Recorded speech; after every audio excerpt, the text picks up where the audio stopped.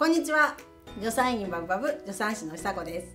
はい今日はご紹介させていただきます。私の書籍が出ました。しない育児でございます。はい、これ、えーと、8月3日に全国の書店あのあとはネットでね販売されますのでよかったらね手に取っていただきたいなと思います本ね出すにあたってあの今回このサンクチュアリ出版さんと取り組ませていただいたんですけどなかなか斬新で、えー、今までまあ本ね何冊か出してるんですけどねちょっと今回の本は私めっちゃ自信作なんですよ。ということでこのしない育児についてちょっと語ってみたいと思います。頑張らんでええよ適当でええよ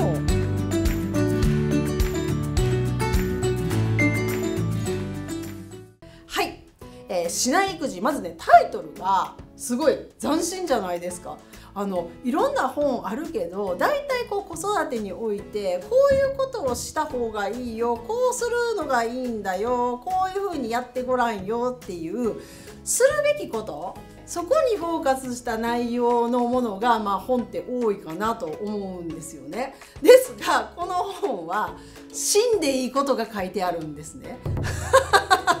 でまあ結構分厚いですけども子育てにおける100項目100個のいろんなことに対してやらんでいいこと100個が書いてあるというね、まあ、そういうことなんですよ。まあ、日々ね生活してたらやっぱり子育てやってたらあのこれをしないといけないあれをしなきゃいけないママだからってね思いがちでで何を力抜けって言われるけど何に対してじゃあ力抜いて何は死んでよくて何はしなあかんねやっていうその頑張らんでええの何は頑張らんでいいけど何は頑張らなあかんのみたいなところがねいまいち力の抜きどころが皆さんやっぱ分からないと思うんですよね。で、まあ、そういう質問もすごい多いんですよ。あの頑張らないといけないことと頑張らなくていいことのその違いが分かりませんっていうようなそういう質問も私のところにすごい来るんですよね。ただ力抜いて頑張らんでいいよもう適当にやっていきやっていうのは簡単やけどもっと具体的にじゃあ何をどこを頑張らなくていくでその根拠は何で？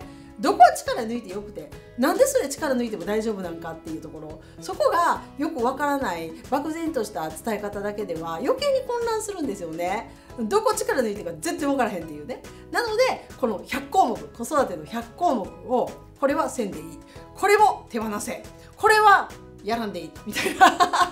しないくじですよね。それを細かくあの100項目に分けて書いてる本になりますので多分これ読んでもらったらあのどこを頑張らんでいいんかって何をせんでもええんかっていうことが明確に分かるんじゃないかと。ほんなら力の抜きどころが分かるからすごいやりやすいでしょ。そういうねあのちょっと斬新な方向からあのアプローチをかけた本で私も読んでてなんかあなんかええなあそうそうそうそうええなこれもこれもこれもこれもこれも死んでいいや。じゃあママがすることって何なんやろほとんどないなみたいな。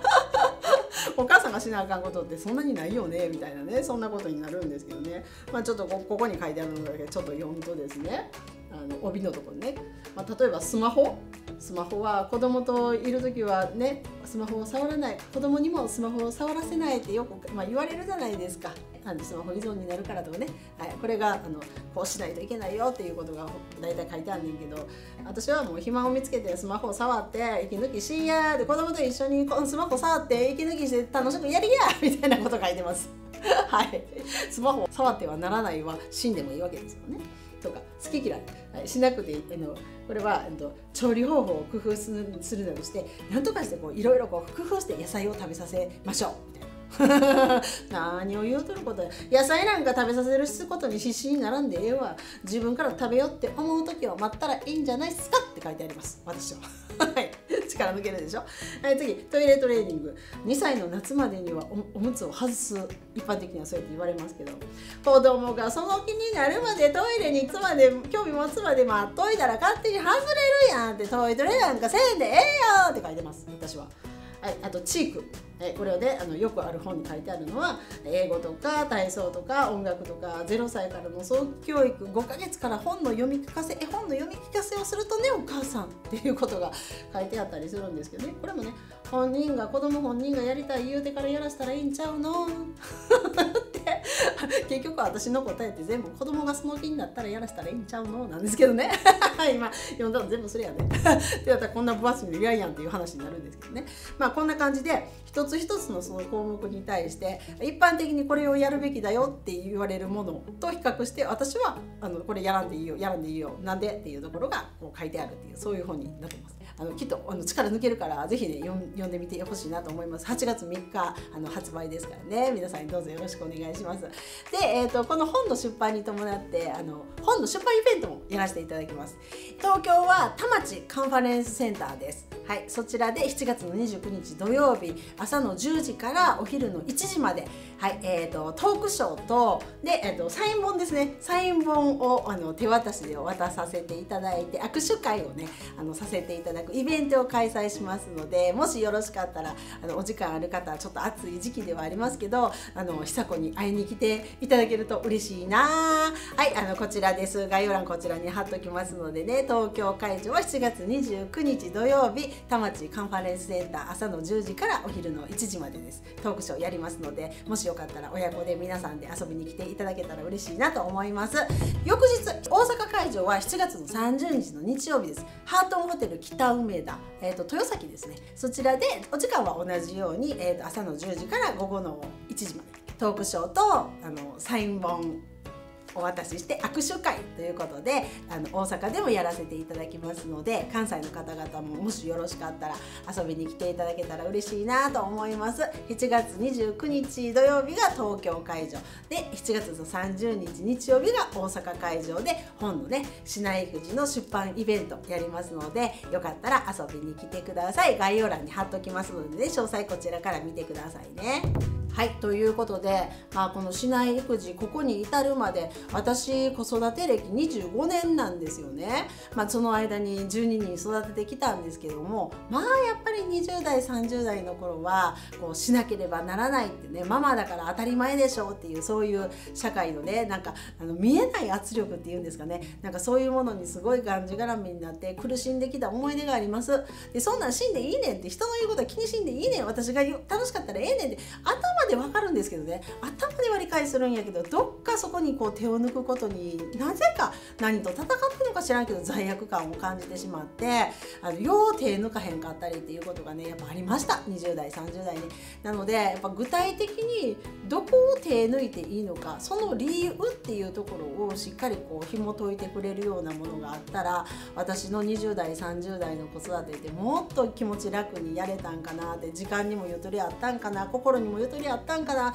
心にゆとりがあったら元旦那さんにももっと優しくできたんかなとか いろいろ思いますよね。はいなのでまあね今多様性を認めるとか、うん、ママママもねもう産んだだけで立派なんだよって、まあ、いろんなとこに書いてあるし言われるんですけどでもその反面で母親なんだからこうするべきああするべきっていうそういう意見はやっぱり根強くてなんか言ってることがもう両極端に180度違ってどっちをなんか信じていいのかあの力抜いたらいいねんって言われてそうやなって思った途端こっちでマママなんだからちゃんとしいやって言われてえやっぱりちゃんとしなあかんねやって言ってねもうどっちっていうか分かんなくてもうねあの迷っちゃうっていうことがありますよね。ほんまにあの25年間のこの子育てあの5万人以上私あのママさんたち親子さん支援をしてきましたけどその中でもう確信としてこれはやらんでいいですっていうこんなことに無駄に時間を使わないでママたちってその時間があったらもっと自分磨きに時間使ったらええんちゃうんとかあ適当でええそこ力抜きてそんなママが一生懸命になったところで子供はそんなん求めてませんで みたいなね、はい、そんなことが、まあ、この25年やってきたからこそあの私の中でのもう確信としてもう軸にあるんですよね。でこれを今やってる子育てしてる若いママたちにその私の確信がそのまま伝わるかってなかなか難しいかもしれないんですけどだけどそのなんか一滴にこの本がねなったらいいなっていう思いで書かせていただきましたので、はい、8月3日発売です。ぜひ手に取って読んでみてください。で、えーと、7月29日と30日のあの本の出版イベントもあなたに会えることを楽しみにしてますのでぜひあの私と握手をしませんか？遊びに来てくださいはい12人産んだ助産師久子の子育てチャンネルまた次の動画でお会いしましょうバイバーイ